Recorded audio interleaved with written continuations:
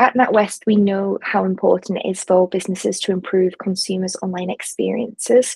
That was the primary reason why we've created this new suite of APIs to help deliver these more seamless digital journeys. NatWest are offering three solutions that will provide customer authentication um, so businesses can easily verify um, customer details. These three uh, solutions are provision, where NatWest can provide fast and secure access to customer data. Um, this will help speed up online experiences, such as onboarding to digital platforms, um, meaning that there are no more lengthy forms for customers to fill in um, because we can pre populate their data um, in this final stages of customer journeys.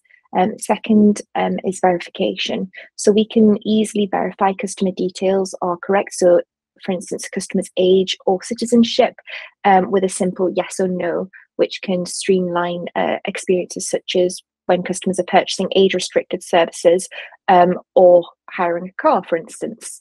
And thirdly, um, notification. So we can, uh, NatWest can notify businesses when a customer updates any of their details with the bank, such as their address, which can help businesses have confidence that the data they hold is accurate and up to date.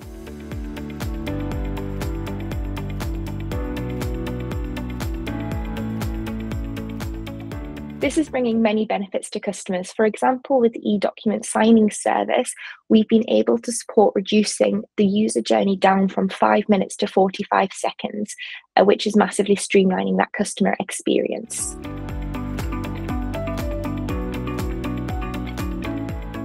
We will be hoping to collaborate with more service providers to make customer attribute sharing available across a much wider range of use cases.